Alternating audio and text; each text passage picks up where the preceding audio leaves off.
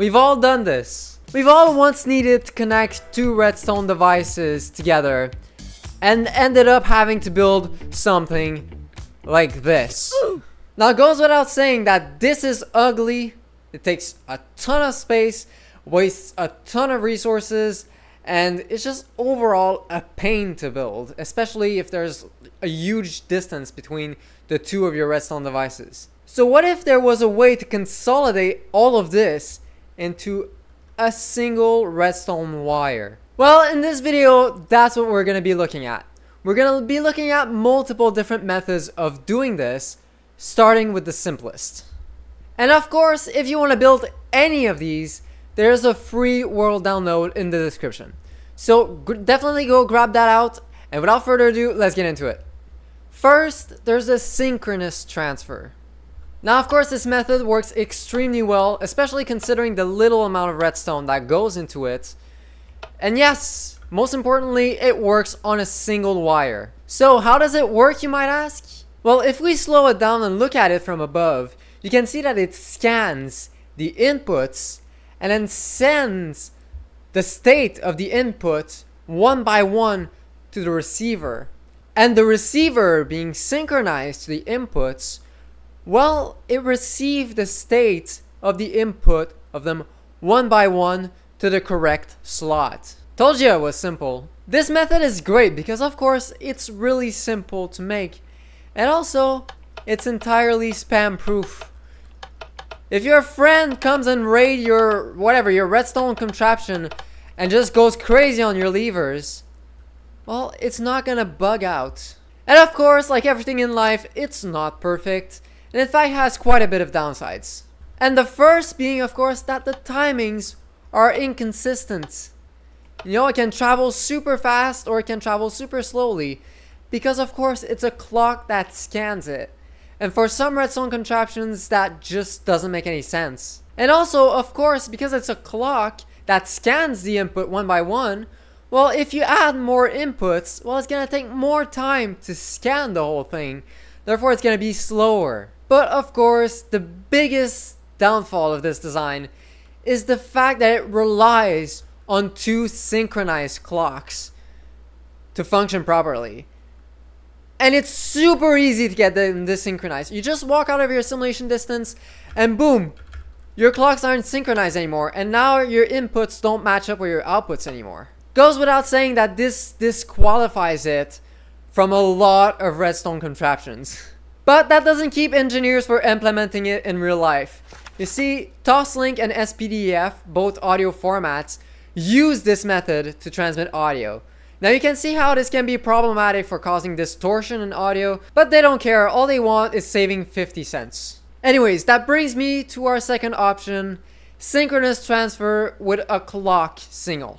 Now this one is extremely similar to the first one, meaning that it's also a clock scanning the inputs and sending the data to the one over there.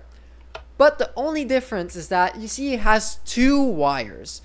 One for the clock wire you see, the way that it works is that each and every single time that the clock returns to the first position, well, it sends a signal to this one to be at the first position and then scan the rest, which means that it never desynchronizes. And with that, alongside its spam-proof capabilities, well, it makes it for an extremely good option if you want signal integrity at all costs. And don't mind the extra wire. Uh, now, of course, with this method being very similar to the first one, it also shares quite a few downsides, meaning that it doesn't have consistent propagation delays, just like the first one, and also it becomes slower as you add inputs, just like the first one. But one of its major other upsides is that you can split your receivers across your redstone builds Meaning that you can put them wherever you want as long as you route those two wires. Which is honestly very useful for a lot of builds. Now onto the third option, asynchronous transfer. Now as you can see, this one also runs on a single wire. And it's basically if we combine the clock and the single wire together in a single wire.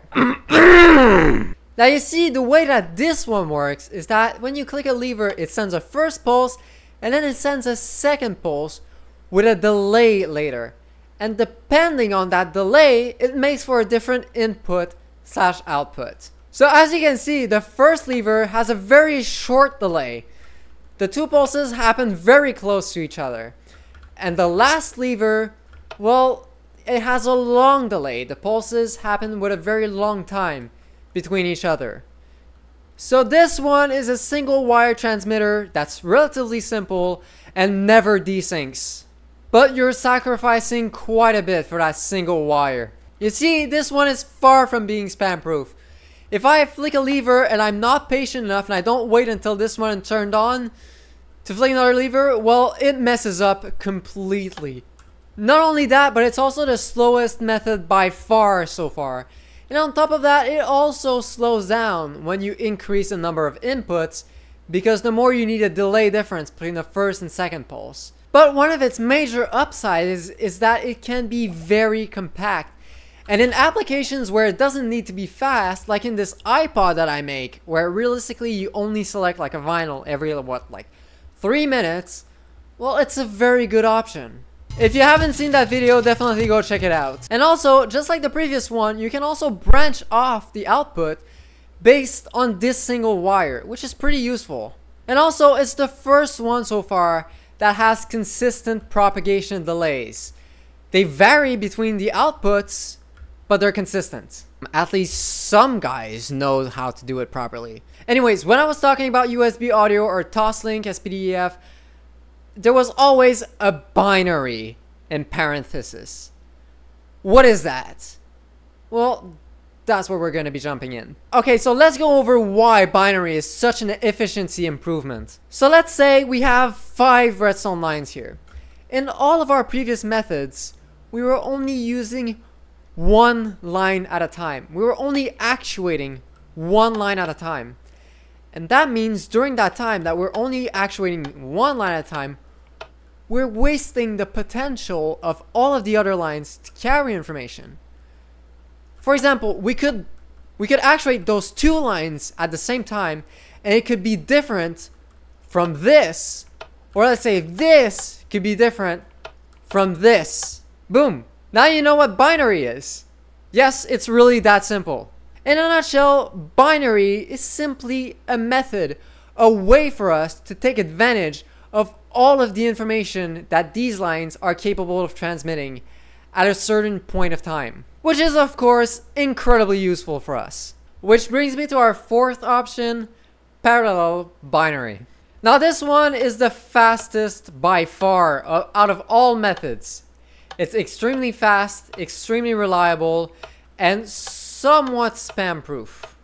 And as you can see, this one has three lines. And it has three lines because it's operating on seven levers. You see, the way that binary works is that every time you add a line, you double the amount of information you can carry. For example, if I have only one line, I can only transmit two states, on or off.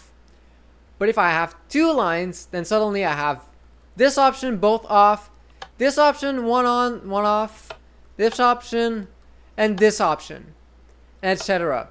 And with three lines, when you have eight options, and the only reason why I only have seven is because I excluded the option that you have zero. And you can keep on going just forever. You see, with five lines like this, you actually have 32 options. With six lines, you have 64 options.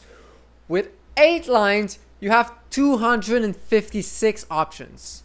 And the best part of this option is that you can scale it indefinitely without slowing down. You can have 8 lines with 256 levers and it would be as fast as this one. Because you see, we're transmitting all of the lines at the exact same time. We're not relying on any clocks, on any timings here.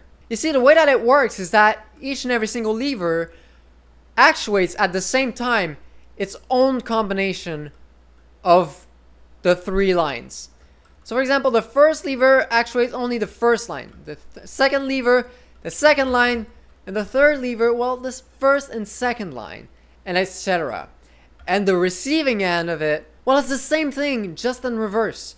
You see, everyone has its own code as well. So the first one here, well, it requires the first line to be on, but the other two to be off to actuate, and etc. For example, that's the method that I'm using to hook up my keyboard with my messaging machine. And obviously, well, the keyboard has a whole alphabet on it.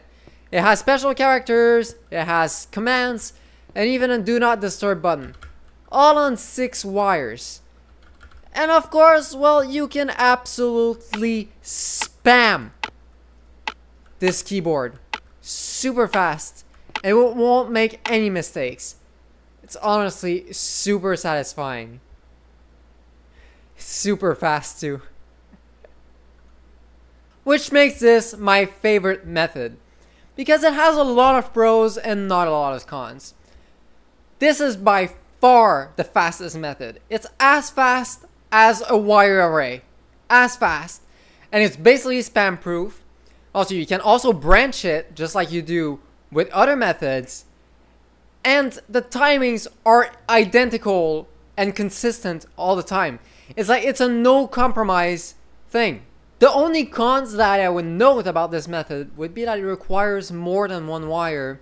Also, the redstone is a little bit more bulky than the other mechanism. Although it's very simple as well. As for real life applications, well, the only connector I can think of is DB25, the old connector you see on old computers. Because we've moved away from parallel binary into something more modern. Which brings me to the fifth method, serial binary. Now this one, as you might have noticed, well, it's binary, but with a single wire. Now there are multiple ways to implement this, and it's using a combination of the binary and the previous methods that we used before.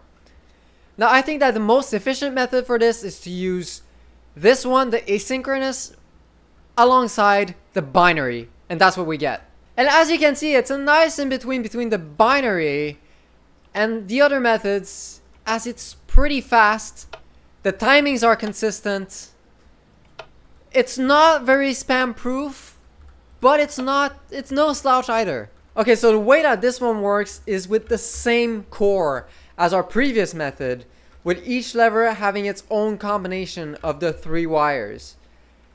The only difference with this one is that instead, we're scanning each wire every, every time someone actuates a lever. So someone actuates a lever, we're scanning the lever, we send the state of this one first, then this one, and then this one. And then the receiver here decodes this just like this one. And there you have it, binary on a single wire. Now of course, as I said, there are multiple ways you could implement this. You could use the asynchronous method or the synchronous method. But as I previously said, we're using the asynchronous method. Meaning that every time we actuate a lever, we send a first pulse telling the receiver, hey, I'm about to send the binary value and then we scan the binary values. And that essentially tells the receiver when the timings are so that we don't obtain jitter in binary because that would be much more catastrophic than this. Now, of course, you guessed it, this is the method that I'm using to send and receive messages with my messaging machines with only one wire. So of course, this is a really good method if you want max speed and max reliability over a single wire. Now, of course, it does have a couple of cons. Now, obviously, this is a little bit complex. You have to fiddle with a lot of timings to get it to work perfectly. And yeah, the redstone is even more bulky than the previous binary. Also, this one is not really spam proof, but it does have consistent timings across all outputs. And it is significantly faster than any of the other methods using a single wire. And as for real life applications, well, we have USB 2.0. Yep, that's right, your USB connector uses this exact method to transmit your data. Now, of course, it's hard to compare real life electronics with Redstone because Redstone is freaking slow. USB 2.0 has a clock of 480 megahertz. Megahertz. Millions of hertz. This 5 hertz. yes, 5 hertz in the single digits of hertz. So although we're using the same method as USB 2.0, we are not getting USB speeds in Minecraft. Anyways, one key advantage of all of these methods that I mentioned in this video that I haven't mentioned yet is the ability to reorganize your outputs however you want. And that is incredibly useful because gone are the days you're gonna have to make a friggin' mess of wire just to reorganize your wire array. And especially with the parallel binary method because you're not losing any speed. So you can reorganize your wires however you want without losing speeds and without creating an absolute mess.